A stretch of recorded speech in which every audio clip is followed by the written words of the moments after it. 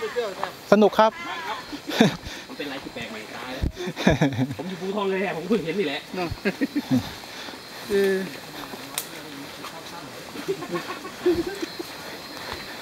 ไม่เคยไม่เคยเข้ารับเลยเด็กจมหมดแล้วไปมันก็เสื่อม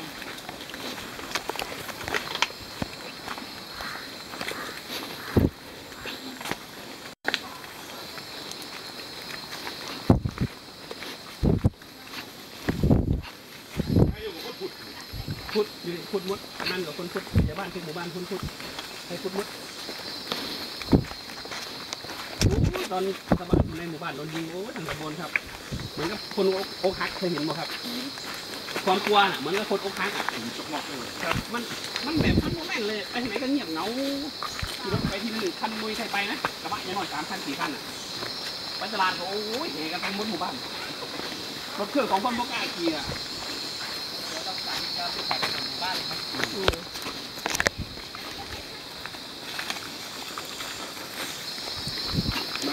ขนาดตัว